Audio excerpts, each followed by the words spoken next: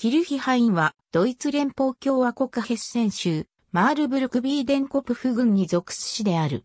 キルヒハインはヘッセン州中部のアメーネブルク盆地北辺に位置する。中核宿はマールブルクの東約 12km にあたり、ボーラ川がオーム川に注ぐ河口の北東に位置する。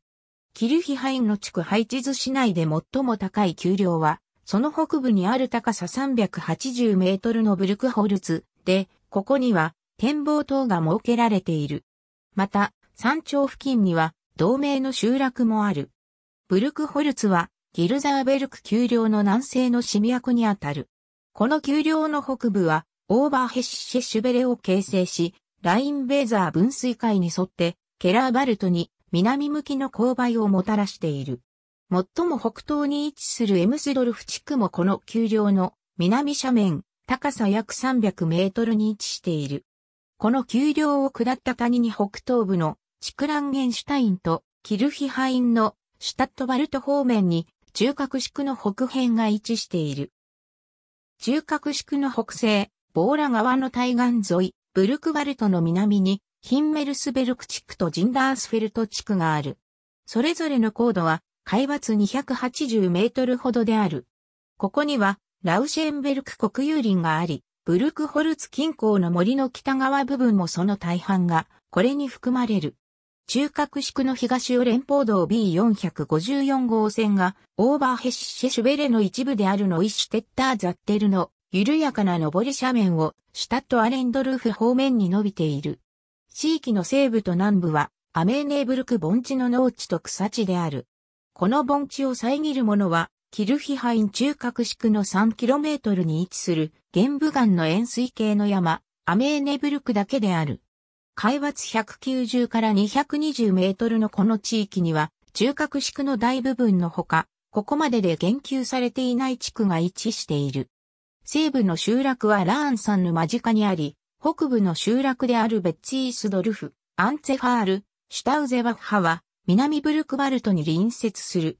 キルヒハインは、北はラウシェンベルク、東はシュタットアレンドルフ、南はアメーネブルク及びエプスドルファークルント、西はマールブルク及びケルベと境を接している。この町は同盟の中核宿の他に12の宿がある。ランゲンシュタインのメンヒル現在のキルヒハイン市内には戦死時代からすでに多くの街道が通っていた。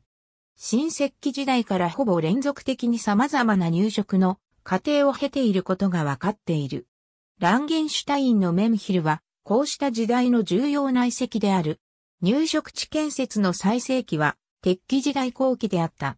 最初の所領形成は、12世紀に起こった。この入植地は、1146年にワーフロという名で初めて文献に記録された。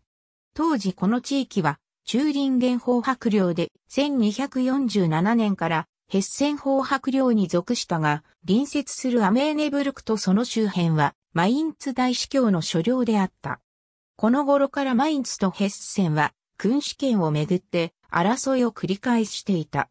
その結果、ヘッセン法白はこの地域を統括し、マインツ側のアメーネブルクに対抗するための砦として、キルヒハインを拡充させた。キルヒハインは、その後、アメーネブルク盆地の経済的中心に発展した。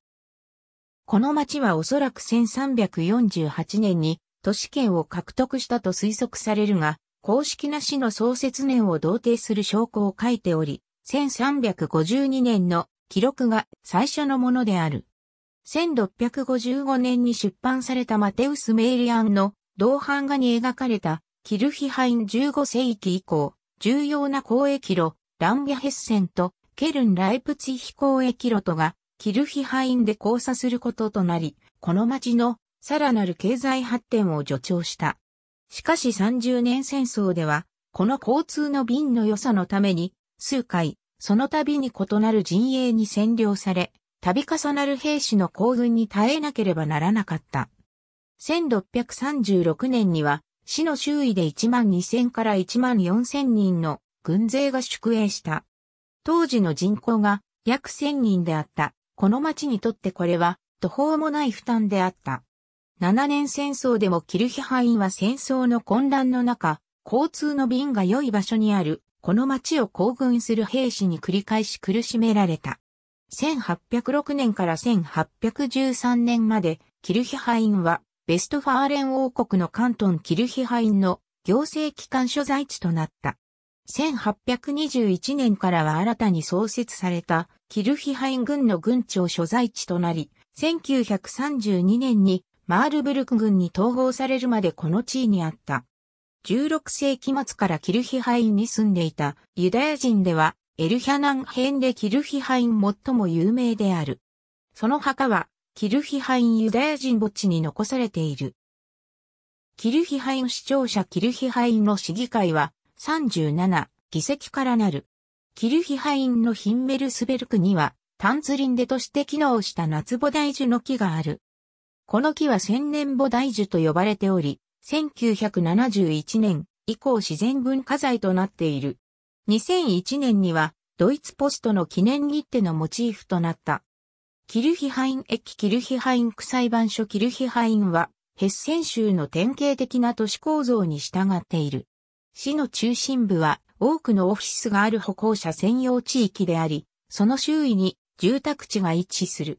南、東、西の外れは工業用地である。キルヒハインは連邦道 B62 号線と B454 号線によって広域道路網に接続している。鉄道はフランクフルトからギーセン、マールブルク、トライザを経由してカッセルに至るマインベーザー鉄道のキルヒハイン駅がある。この駅にはレギオナルエクスプレスとミッテルヘッセンエクスプレスが発着する。